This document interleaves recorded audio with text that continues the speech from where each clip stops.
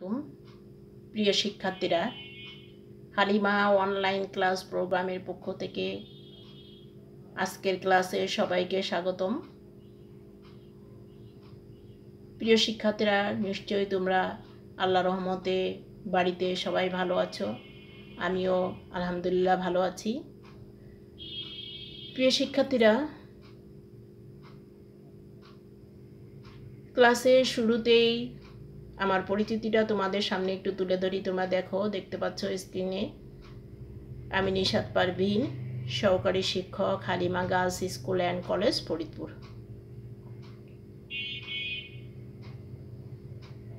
তাহলে প্রিয় শিক্ষার্থীরা, আমার পরিচিতিটা তোমরা জানলে। আসো, এখন আমরা ক্লাসে মনোযোগ দেই। আসো, তোমরা যার যার বাড়িতে বই খাতা নিয়ে প্রস্তুতি নাও। আজ আমি তোমাদের পড়াবো নবম, দশম শ্রেণির বাংলা দ্বিতীয় পত্র।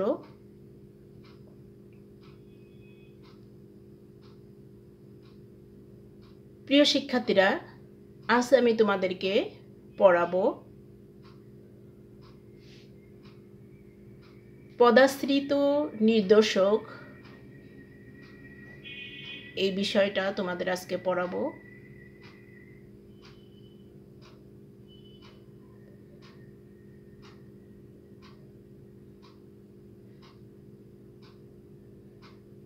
এই পাঠ শেষে, প্রিয় শিক্ষার্থীরা, তোমরা যা যা শিখবে, পদাশ্রিত নির্দেশক কী তা বলতে পারবে?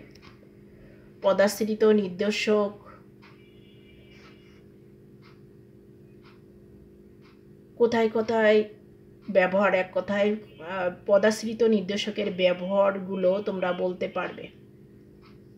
তাহলে, প্রিয় শিক্ষার্থীরা, তোমরা শিখন ফলটা জানলে। আসো। এখন আমরা পদাশ্রিত নির্দেশক কাকে বলে সেটা জানি। কতগুলো অব্যয় বা প্রত্যয় কোনো না কোনো পদের আশ্রয়ে বা পরে সংযুক্ত হয়ে নির্দিষ্টতা জ্ঞাপন করে, এগুলোকে বলা হয় পদাশ্রিত অব্যয় বা প্রত্যয়। এই পদাশ্রিত নির্দেশকের আর একটা নাম হচ্ছে পদাশ্রিত অব্যয়। বাংলায় নির্দিষ্টতা জ্ঞাপক ইংরেজিতে, যেমন আমরা আর্টিকেলে দি ডেফিনেট আর্টিকেল দি এর স্থানীয়, তেমনই। বাংলায় নির্দিষ্টতা জ্ঞাপক প্রত্যয়। আর বচন ভেদে এই পদাশ্রিত নির্দেশকের বিভিন্নতা প্রযুক্ত হয়। এক বচনে ব্যবহৃত পদাশ্রিত নির্দেশক। যেমন টি, টা, খানা, খানি, গাছাগাছি ইত্যাদি নির্দেশক ব্যবহৃত হয়। যেমন টাকাটা, বাড়িটা, কাপড়খানা, বইখানি, লাঠিগাছা চুরিগাছি ইত্যাদি।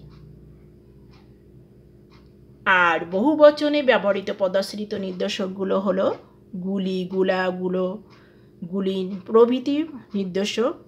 প্রত্যয় ব্যবহৃত হয়, যেমন মানুষগুলি, লোকগুলো, আমগুলো, পটলগুলি ইত্যাদি।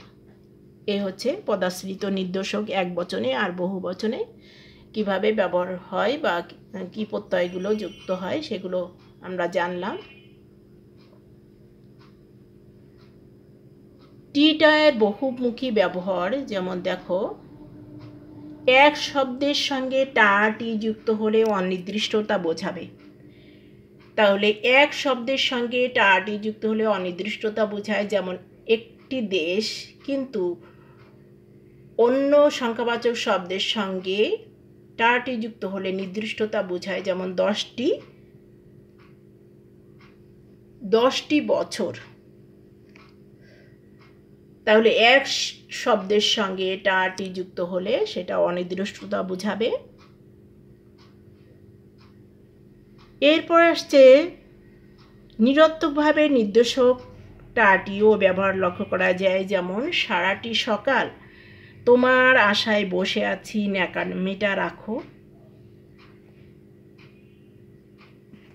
তারপরে নির্দেশক সর্বনামের সঙ্গে টাটি যুক্ত হলে তা সুনির্দিষ্ট হয়ে যায়, যেমন, ওটি যেন কাঠ তৈরি, ওটি যেন কার্ড তৈরি। এই যে নির্দেশক সর্বনাম এটা ওটি যেন কার্ড তৈরি সর্বনামের সঙ্গে টাটি যুক্ত হয়েছে, সেটা নির্দিষ্ট করে ব্যবহার হয়েছে।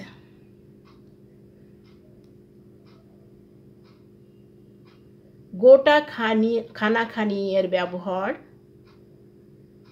গোটা বহু বচনবাচক শব্দটি আগে বসে।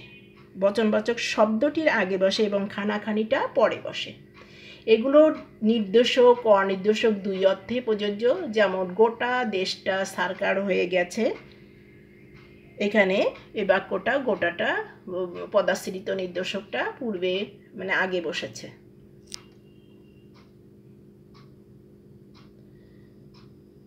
কিন্তু কবিতায় বিশেষ অর্থে খানি নির্দিষ্টতা ব্যবহৃত, অর্থে ব্যবহৃত হয়।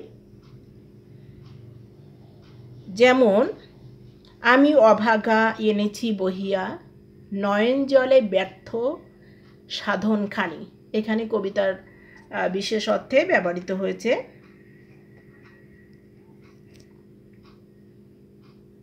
প্রিয় শিক্ষার্থীরা, তাহলে তোমরা বুঝতে পারছ। এরপর আছে টাক, টুক টুকুটো এর ব্যবহার।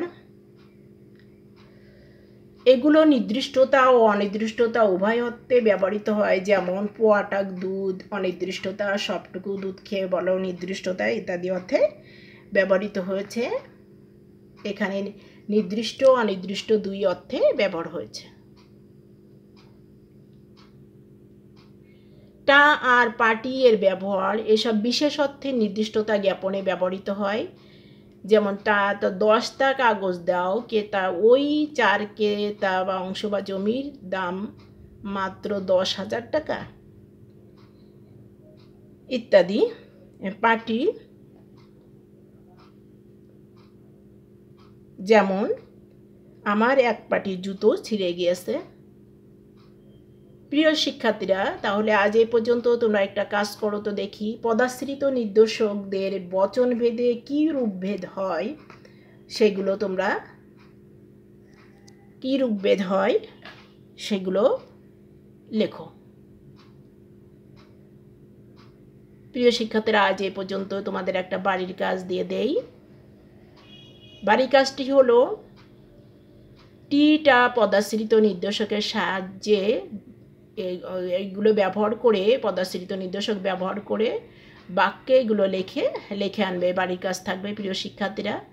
তাহলে তোমরা নিশ্চয়ই পদাশ্রিত নির্দেশক কাকে বলে পদাশ্রিত নির্দেশক আমরা বাংলা ভাষায় কী কীভাবে ব্যবহার করি, তার নিয়মগুলো আমরা জানলাম।